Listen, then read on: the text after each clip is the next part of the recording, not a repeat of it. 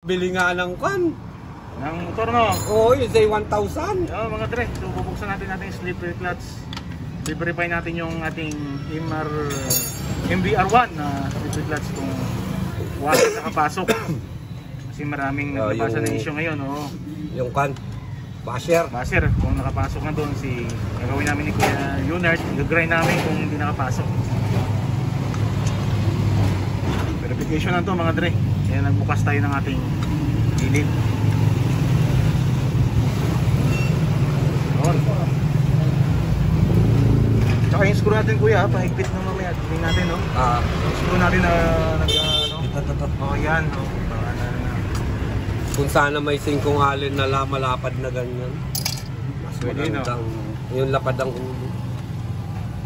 Yung mga dre, verification tayo. Sana. Ah, para makita natin. Grind na ba hindi?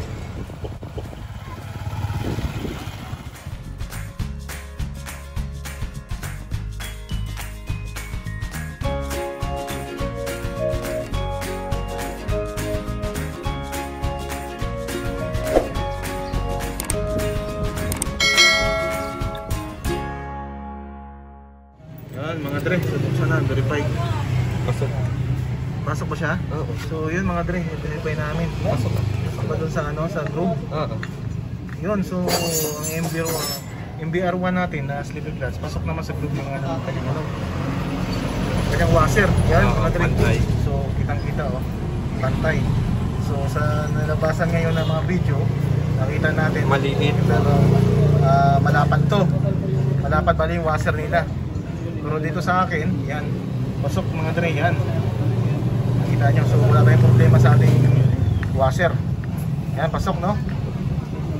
So, ba, yan natin sa gilid no? Para ano, Tingnan natin, pag pasok na pasok. So, yan mga dre, saktong-sakto lang. So, makita nyo, flat lang. Oh. Yan. Yan, makita nyo sa pantay lang siya. So, hindi natin kailangan magbawas na. So, ano kayo, Arnold? Suggestion mo? Sakto lang o Okay bawas na yan. Okay na yan. So, okay mga dre. Yan, so na-verify na natin. Kaya na kung mag-grind tayo hindi mga dre. Yun, so ayos na yan. So yun yun, no? Dapat na dapat dre, oh. Dapat yan. oh. So, yan, lapat naman siya mga dre. So, sinasabi nila hindi nakapasok. So, yan, kitang kita, nakalapat. Kulang naman natin, eh. Oo. Yan.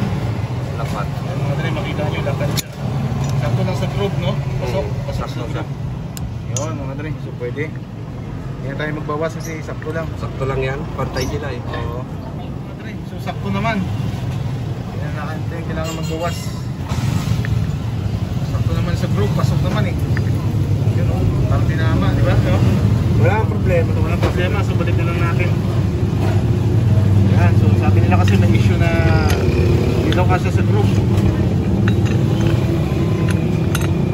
So, pasok naman mga dre.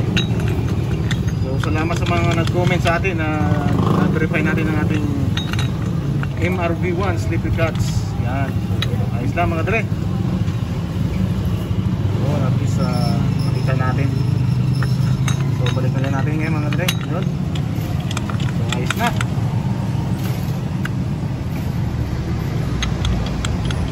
Yun mga dre, so binalik na natin yung cover. So wala nang problema sa ating slippery glass. Yan, so yun ang ating verification mga dre. Yan, so right safe sa inyong lahat mga dre. Sama tayo sa mundo yan, si Kuya Yunan.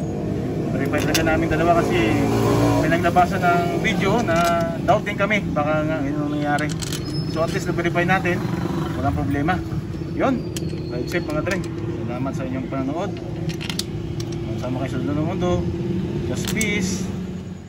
So salamat sa inyo mga dre sa mga nag-comments para ma-verify ko rin ang aking sl- MRB1's slippery cuts. So pasok naman ang ating master sa sa group niya. So tamang-tama lang mga dre.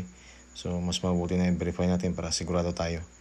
Yan mga dre, salamat sa inyong mga comments at suggestion. So sa mga kaibigan natin, sa mga subscriber, thank you very much para may check din natin ating alagang motor. Yan mga dre, ride safe.